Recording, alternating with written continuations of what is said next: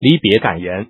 詹姆斯走，他也走。泰勒卢一番话暗示离开骑士三比零。截止到目前，NBA 已经进行到了第三场比赛，可是比分却是勇士三比零骑士队。骑士连赢下一场比赛的机会都没有。接下来就是第四场比赛，如果骑士再次输掉，勇士将四杠零横扫骑士，夺得总冠军。在这个赛季以来，骑士队遭到了重创。欧文离队去了凯尔特人，交易来了小托马斯克劳德，但是小托马斯遭遇臀部伤势，迟迟没有出战。在托马斯恢复之后，他对于骑士队完全没有太大的作用。身高是硬伤，防守不行。在凯尔特人，由于体系的作用没有表现出来，但是一来骑士就暴露无遗。本赛季勇士队在常规赛没有拿到联盟第一的战绩，而是被火箭拿到。一大批人认为勇士今年不同于以往了，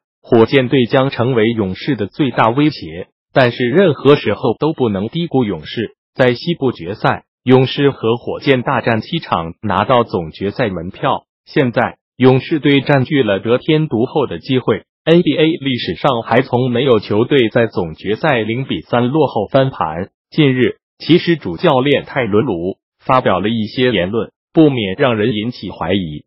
他要走了。泰伦卢表示，过去四年在骑士队的执教是一段美妙的旅程。回来的第一年，球队有詹姆斯，所以人们会认为你们就会进入总决赛。但是赢球很困难。第一年，骑士打进了总决赛，不过被勇士淘汰。第二年，骑士上演了总决赛一比三的惊天大逆转。去年，杜兰特加盟勇士，我们打进总决赛。今年，我们仍然坚持了下来。很多人都把我们排除在总决赛之外了，但是我们教练、球员都保持专注，在季后赛打出了高水准。我们大家表现都很出色。回顾过去的四年，很棒。他还没有结束，没结束。我不会拿这段经历去换世界上其他的东西。